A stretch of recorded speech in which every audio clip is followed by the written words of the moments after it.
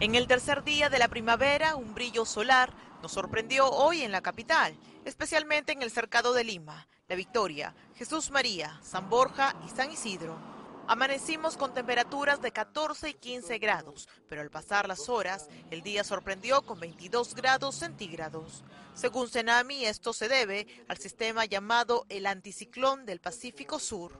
Es un sistema de alta presión que controla el clima en la costa del Perú. Entonces, cuando este anticiclón está eh, más cerca al continente y más intenso, eh, nos, nos, afecta con cielo más cubierto, cielo cubierto, lloviznas, más viento en la capital. Como se recuerda, hace pocos días se registraron lloviznas, cielo cubierto, humedad alta y vientos fuertes que incrementaban sensación de frío. Para la próxima semana nos espera eh, días un, un, poco variables, vamos a tener cielo cubierto, nublado en la las mañanas sobre todo, no se descarta lloviznas por la noche, primeras horas de la mañana, madrugada. Senami recomendó a no confiarse de los cambios bruscos de temperatura.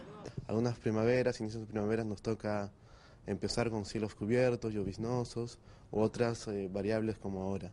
Los transeúntes se manifestaron ante estos cambios del clima. Es que el clima está muy fuerte, aparte de que el clima se ha vuelto demasiado loco y aparte que demasiado voluble.